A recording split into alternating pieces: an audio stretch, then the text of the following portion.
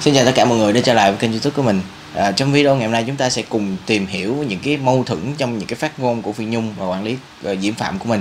À, Được biết thì chia sẻ của Phi Nhung và quản lý Diễm Phạm đã có rất là nhiều những cái thông tin nó gọi là không có đồng nhất với nhau. Hiện tại thì nữ ca sĩ này cũng đưa chưa có thông báo uh, cụ thể về cái nguồn thu của Hồ Văn Cường trong 5 năm vừa qua. Thì sau tất cả những lùm xùm thì hiện tại thì Phi Nhung vẫn chưa trả lời câu hỏi chính thức đó là tiền uh, ờ, cát xê của Hồ Văn Cường 5 năm vừa qua uh, là bao nhiêu? Và mối quan hệ giữa Phi Nhung và cuộc sống của Hồ Văn Cường trong 5 năm qua đang là cái đề tài có thể nói là bàn luận rất là xôn xao uh, của rất là nhiều khán giả. Về cái uh, vấn đề này thì mẹ nuôi của Phi Nhung và quản lý Diễm Phạm cho thấy là sự bất nhất uh, bất đồng nhất trong cái cách trả lời. Hơn nữa là họ vẫn im lặng trước những câu hỏi về thù lao của Hồ Văn Cường uh, sau khi đăng quang ở Việt Nam Idol Kids và năm 2016 thì như các bạn và các anh chị cũng đã biết đó là Hồ Văn Cường đã được nhận cái khoản tiền thưởng lên đến 200 triệu đồng khi mà chiến thắng cái ờ, chương trình Việt Nam Idol Kids. Và tuy nhiên á, thì số tiền thưởng 200 triệu này là do Phi Nhung và quản lý của mình là cái cái ờ, chị Diễm Phạm đã giữ. Và cũng trong năm 2016 rồi sau khi Hồ Văn Cường làm ờ, con nuôi thì Phi Nhung đã thông báo về cái việc sẽ hỗ trợ toàn bộ tiền học phí đồng phục à, uh, sách giáo khoa cho đến khi mà Cường đủ 18 tuổi. Tức là ờ, dù chi phí phát sinh bao nhiêu thì Phi Nhung cũng sẽ chi trả. Nên thực tế thì cái khoản tiền trên cũng như là các c của Hồ Văn Cường không cần dành để lo cho việc học. Nếu Phi Nhung giữ đúng lời hứa của mình và sau 5 năm á, khi mà được hỏi về cái khoản thưởng 200 triệu đồng của Hồ Văn Cường á, thì Phi Nhung đã trần tình trong cái video gửi khán giả là nếu lấy 200 triệu đồng tiền thưởng của Cường xây nhà dưới quê thì tương lai của Cường sẽ như thế nào? Cường phải đi học chứ? Phi Nhung và quản lý Diễm Phạm bày tỏ cái quan điểm là cách xê của Hồ Văn Cường thấp phải giữ uh, lại để có thể chi trả học phí thì uh, dư luận đâu có biết một cái Hồ Văn Cường học ở trường quốc tế là phải đóng bao nhiêu tiền. Trường quốc tế họ có chính sách giảm nhưng không có ở đâu miễn phí tất cả. 3 năm Cường học ở trường Lê Văn Tám hết bao nhiêu tiền không ai biết. Quản lý Diễm Phạm trả lời với Jin về cái lý do giữ toàn bộ cá xê và tiền thưởng của Hồ Văn Cường. Theo tìm hiểu của Jin thì giai đoạn năm 2017 đến năm 2019 thì thời điểm Hồ Văn Cường học cấp 2 học phí ở trường trung học cơ sở Lê Văn Tám ở lớp thường dao động từ khoảng 1 triệu đồng à, một năm và 10 triệu cho đến 11 triệu đồng một năm với lớp tích hợp luôn tiếng Anh. Và lên cấp 3 thì Hồ Văn Cường đã chuyển sang học trường quốc tế là iSchool. À, bản học phí công khai của cái hệ thống trường iSchool cho hệ thống trung à, học phổ thông tại đây là dao động từ 55 đến 56 triệu đồng. Tuy nhiên á, thì Hồ Văn Cường được nhận học bổng của trường theo cái diện mà hỗ trợ tài năng trẻ thông tin này là do trường công khai trên trang uh, chính thức của mình. Tuyên bố là Hồ Văn Cường không có show trong 2 năm. Thì đây cũng là một cái uh, câu hỏi lớn nữa. À, được biết là quản lý Diễm Phạm đã nói với Jin là hai năm nay thì Cường không có đi hát thì nuôi ai? Thì ai nuôi thì ai nuôi chứ? Tuy nhiên á, thì à, kiểm tra lịch diễn à, được đăng tải công khai trên trang Facebook á, thì dễ dàng nhận thấy là Hồ Văn Cường vẫn có lịch diễn trong cái giai đoạn năm 2019 đến năm 2020 hoàn toàn không hề nghỉ hát như là chia sẻ. Cụ thể là ngay trên trang cá nhân thì Hồ Văn Cường đã đăng tải lịch diễn ở Mỹ trong các ngày là 17, 18, tháng 8 năm 2019 và 21 tháng 8, 29 tháng 8 2019. Tới tháng 11 thì giọng ca sinh năm 2003 này vẫn cùng mẹ nuôi Phi Nhung đi diễn tại Thụy Điển và một số địa điểm khác ở châu Âu. Ngày 11 tháng 7 năm 2020 thì quán quân Việt Nam Idol Kids đã có một cái lịch diễn tại một phòng trà ở Kim Mã, Hà Nội. Một ngày sau đó thì Hồ Văn Cường đăng bài thông báo là đã thi học kỳ xong và có lịch biểu diễn ở Bắc Kinh vào tối cùng ngày. Và vào ngày 29 tháng 7 năm 2020 thì Hồ Văn Cường và Phi Nhung à, diễn ở Uông Bí, Quảng Ninh. Trước đó thì giọng ca 18 tuổi này cũng có lịch diễn ở Bến Tre trong khoảng thời gian 21 đến ngày 29 tháng 6 năm 2020. Hồ Văn Cường cũng chia sẻ video phát trực tiếp từ Cà Mau khoảnh khắc em bị biểu diễn ngày 26 tháng 12 năm 2020 và giai đoạn từ năm 2016 đến 2017 thì Hồ Văn Cường là sao nhí đắt show bậc nhất một tuần em chia sẻ ảnh hoặc là video biểu diễn tại 2 đến 3 sự kiện trung bình thì cách ngày lại có ờ, một show. Địa điểm các ờ, buổi biểu diễn rất là đa dạng và trải dài từ Bắc tới Nam. Trên cái ờ, poster sự kiện hoặc là ghi ở video ghi lại cái cảnh diễn thì Hồ Văn Cường được mời diễn độc lập. Điều này là mâu thuẫn với câu trả lời của quản lý bà Diễm Phạm nói sau khi thi xong Việt Nam Idol Kids thì Cường chỉ có một cái số show sự kiện của các nhãn hàng do anh trai Trường Giang mời. Những cái show biểu diễn sau này thì Cường đều đi với danh nghĩa là kèm với Phi Nhung. Đó thì đó là uh, những cái mà quản lý diễn Phạm trả lời và những cái uh, người đọc và khán giả họ soi được nó có một sự lấn cấn với nhau trong cái câu uh, uh, trả lời với thực tế và tiếp theo đó là công ty quản lý quy mô uh, uh, hay là mô hình gia đình công ty quản lý hay là mô hình gia đình? Thì đây là một câu hỏi rất là lớn. Trong một cái video đăng tải ngày 11 tháng 6 thì Phi Nhung nói thêm về cái lý do giữ tiền thưởng và không tiết lộ cá xê của cho con nuôi của mình biết. Đó là tôi là ca sĩ nên không bao giờ giữ tiền. Ca sĩ thực thụ là do là mà lo cả tiền bạc thì không hát được.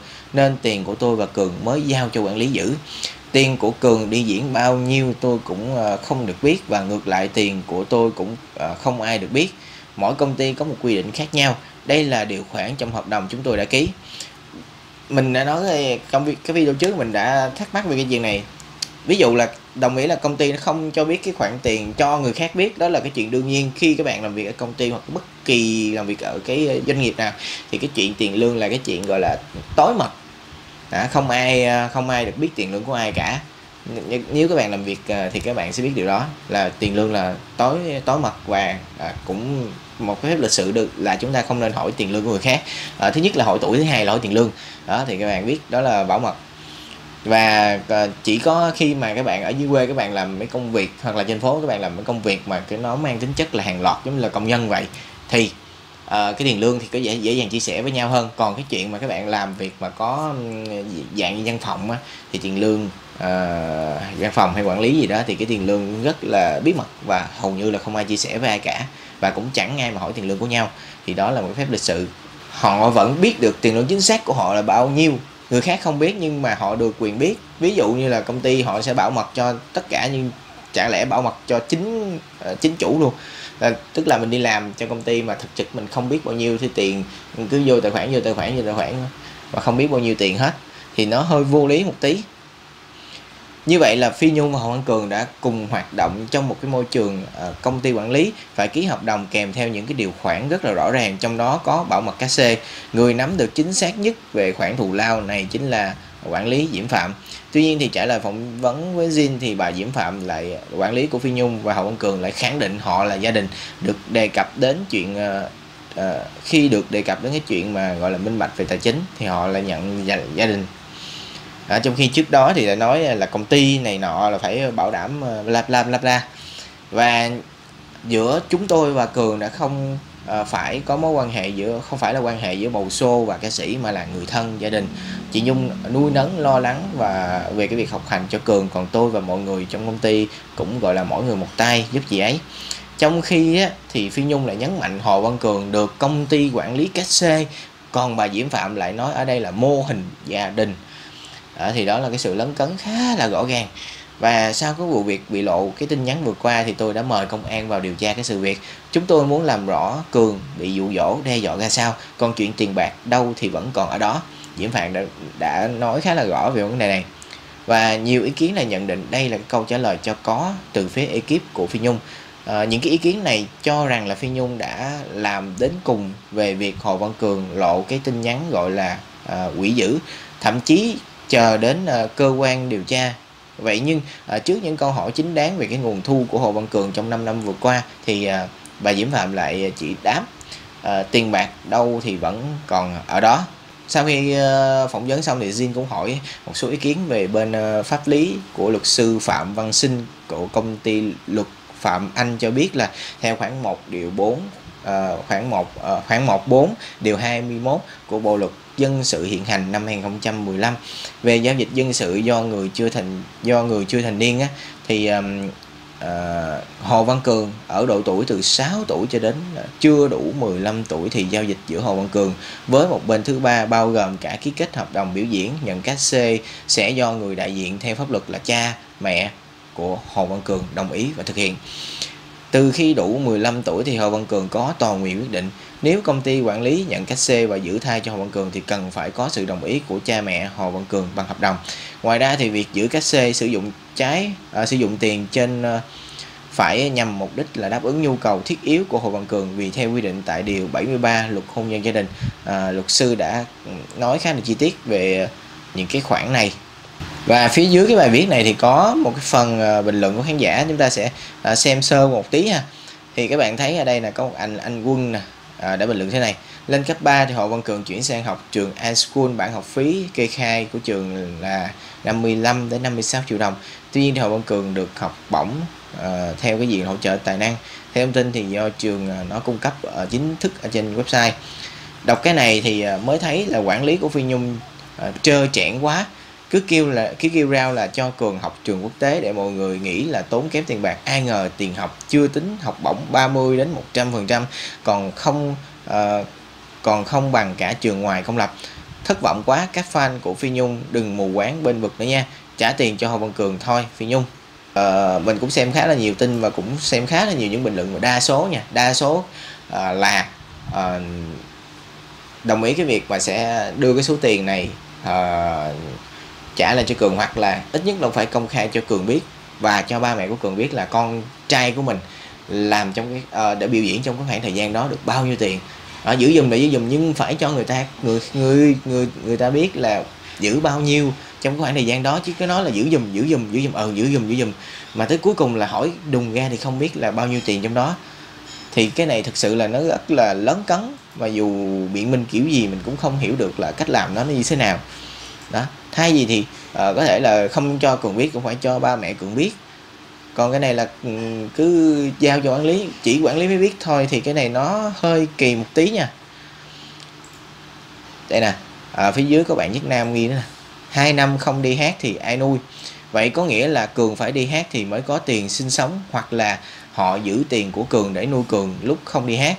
Vậy có khác gì là cường tự làm tự ăn tự nuôi bản thân uh, họ tự, tự nuôi bản thân ăn họ sinh sống. Thế thì uh, phi nhung cứ bảo là nhận cường làm con nuôi vậy bà nuôi cường bằng gì? Đúng là một cái lẽ ngụy biện vô lý. Đây thì hai cái comment này rất là nhiều uh, người đồng tình. Đây còn cái nữa này khi Hồ Văn Cường mới lên 12, 13 bằng tài năng thiên bẩm thì đã thắng được giải thưởng 200 triệu số tiền này là phải là của Hồ Văn Cường mà em còn nhỏ nên ba mẹ em giữ mới đúng. Đằng này thì Phi Nhung nhận Hồ Văn Cường nuôi rồi giữ luôn cái số tiền thưởng là không được. Rất là vô lý đừng thấy người ta ở dưới quê lên chân chất thật thà. Mới đầu mới nói giữ hộ rồi dần giữ luôn. À, rồi nói là để lo cho Hồ Văn Cường ăn học. Nói vậy không khác gì Hồ Văn Cường tự lo à, vì xét về tình nghĩa người nhận con nuôi thì phải lo cho con nuôi mình đàng hoàng tới nơi tới chốn. Còn cái việc giữ tiền cát xê biểu diễn của Hoàng Cường sau này là bất hợp pháp. À, đề nghị cơ quan chức năng và báo đài hay làm sáng tỏ vụ việc này. Thì cái này rất là à, gây bức xúc và rất là nóng luôn trong cái thời điểm này đa số mình thấy là đa số luôn. Mình thấy là hầu như là hơn 80 phần trăm là mọi người đều đồng ý cái việc là uh, nên số tiền của Hồ Văn Cường Cường nên được biết và nên à, để cái số tiền đó à, cho Hồ Văn Cường à, có thể là quản lý dùm nhưng phải cho biết nè. Còn không là phải tạo một cái tài khoản riêng cho Hồ Văn Cường và đủ 18 tuổi thì quyền uh, Cường có thể rút cái số tiền và sử dụng số tiền đó thì nghe nó sẽ hợp lý hơn cái việc mà giữ dùm mà không biết gì cả. Và mới đây á, thì uh, trên các mặt báo còn uh, đưa ra một cái uh, hình ảnh đó là chị gái Hồ Văn Cường à, phải đi lụm ve chai. À, cái tin này thì à, à, hiện tại thì vẫn chưa xác nhận là có đúng hay là không. Đây nè chị gái Hồng Cường với lụm ve chai và thấy cái cuộc sống khá là à, cơ cực khá là khổ. Đây mới đây nè thông tin của chị gái Hồ Văn Cường đi lụm ve chai à, kiếm sống với cái nhà trọ vỏn vẹn là chỉ 20 mét vuông ở Tiền Giang. À, tiếp tục gây xôn xao rất cho nhiều khán giả đã vô cùng xót xa trước cái hoàn cảnh của chị gái Hồ Văn Cường này những kiến xoay quanh tiền cách xe của cường nè trong năm năm qua để gây ra tranh cãi rất là nhiều. Và đa số là mong muốn là quản lý hay minh bạch cái số tiền 5 năm qua của cường và đưa lại cho gia đình của nam diễn viên. À, vì hiện tại cường cũng gần 18 tuổi nha 18 tuổi hay gì. Thì cái số tiền này đưa bây giờ thì hoặc là minh bạch trước thì nó cũng ok hơn. Mình không tin được là trong 5 năm trời mà đi ca mình không biết cái số tiền của mình bao nhiêu thì là khó tin. Và cái cái tin còn cái tin uh, chị gái của Hồ Văn Cường là bên trai thì cũng chưa có xác thực nha. Nhưng mà báo này, báo ờ, kênh 14 mới đăng lên nè. Nhưng mà có không ghi cái nguồn này từ đâu cung cấp. Em đọc được không Cường. Đây nè. Có thể là trong cái tin nhắn của Cường. À. được lan truyền trên mạng xã hội. Cái này là lan truyền nè. Có thể là cái tin này nó giả, hiểu không các bạn? Tức là tin này được làm bằng Photoshop sau đó giả đăng lên để ờ, ăn theo cái trend của Hồ Văn Cường hiện tại giờ. Đây, một số bình luận khi mà đăng cái tải hình lên đó mạnh mẽ lên tương lai của mình và gia đình sao em để người khác à, điều khiển về em? Thương quá trời ơi chị gái Hồ Văn Cường không nhà không smartphone xài điện thoại không lót được. Đó. À, thì mình thấy cái tin này nó có vẻ như là nó nó hơi ảo một tí và có lẽ là cái tin này là do dựng lên thôi chứ không có đâu các bạn. Còn cái việc mà nhà của Hồ Văn Cường á, thì nó cỏ đầu mọc từ lưa từ lưa hộp vui thế này và không có xây sửa lại á, thì là đúng sự thật cái này là trên báo đăng và người nhà của Hồ Văn Cường đã xác nhận là nhà của hiện tại Hồ Văn Cường là như thế này. À, à. còn ba mẹ của Hồ Văn Cường á, thì hiện tại đã ở chung với nhà Phi Nhung luôn và ba thì làm bảo vệ mẹ thì làm à, à vệ sinh hay là hỏi lao công ở trong à, cái chỗ à, Phi Nhung bán à, à quán chai các bạn. Đó thì sau tất cả lùm xùm thì các bạn thấy là trên trang cá nhân của Phi Nhung à, cũng ờ, đăng tải một số cái gọi là vẫn à, một tinh thần rất là lạc quan và à, coi mọi chuyện à, nó không có gì quá quá là nghiêm trọng tất cả chỉ là hiểu lầm. Đó các bạn thấy không? Thì trên trang vẫn đang chuyện bình thường. Có một số khán giả còn à, nói câu đó là comment đó là mong là sẽ không thất vọng và Phi Nhung đã chấn an ngay khán giả của mình với một câu rất là nhẹ nhàng an tâm nha em. Đó. Thì rất là nhiều người đó đã thắc mắc cái chuyện này và mong thì cái chuyện này nó không đi quá xa và cái hình tượng của Phi Nhung sẽ không bị đổ vỡ trong lòng của họ. Và Phi Nhung này chắn ngang là à, các em à, mọi người hãy yên tâm an tâm. Này Phi Nhung vẫn à, rất là thoải mái và vẫn tập thể dục vẫn à, vui tươi à, mặc cho mọi chuyện nó xảy ra như thế nào. Đây thì à, các bạn nghĩ sao về những cái phát ngôn và mâu thuẫn này? À, các bạn à, để bình luận bên dưới để chúng ta cùng thảo luận thêm với nhau nhé. Tuy nhiên mình thì thấy nó vẫn bất hợp lý như uh, thường lệ nói chung là khá là bất hợp lý. Chốt lại thì uh, việc này chỉ giải quyết cái chuyện cái kheo cái kiểu mà gọi là trả tiền lại cho hồ văn cường sau đó làm theo đúng như uh, cái uh, cái ban đầu của phi nhung đã nói là sau đó 18 tuổi trả tiền cho hồ văn cường hết. Và à, thêm vào đó là sẽ cho cường vài trăm triệu nữa để trường làm ăn thì đúng như là những cái lời phi nhung nói trước đó đó còn cái chuyện mà càng giải thích thì mình cảm thấy là cả quản lý và phi nhung càng giải thích thì thấy nó càng lấn cấn và nó càng gây khó chịu cho người cho khán giả. Thì các bạn nghĩ sao? À, video này kết thúc nha. Cảm ơn các bạn đã quan tâm theo dõi video này. Xin chào và hẹn gặp lại các bạn trong video sau.